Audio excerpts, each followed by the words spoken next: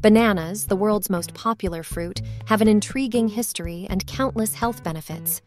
Originating from Southeast Asia, they spread globally, becoming a staple in diets worldwide. Packed with essential nutrients like potassium and vitamin C, bananas aid heart health and boost immunity.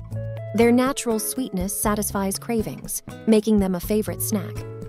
Interestingly, bananas grow in clusters called hands and are technically berries.